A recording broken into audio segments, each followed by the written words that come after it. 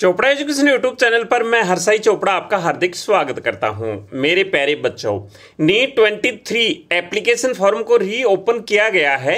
यानी कि जिन बच्चों ने अभी तक नीट 23 का एप्लीकेशन फॉर्म अप्लाई नहीं किया है, वो 13 अप्रैल 23 तक नीट का फॉर्म अप्लाई कर सकते हैं। काफ़ी सारे बच्चे बचे हुए थे अभी, जो नीट का फॉर्म कंप्लीट नहीं कर पाए थे।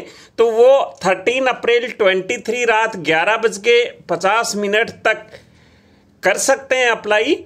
इसके बाद में एनटीए की तरफ़ से ये कहा गया है कि इसके बाद कोई चांस नहीं मिलेगा। तो जिन बच्चों का एप्लीकेशन फॉर्म अभी इनकम्प्लीट है, या फिर जो फ्रेश रजिस्ट्रेशन करना चाहते हैं, वो 13 अप्रैल 23 से पहले कर दें। इसके बारे में और कोई अपडेट मिलेगी तो हम आपको इन्फॉर्म कर देंगे।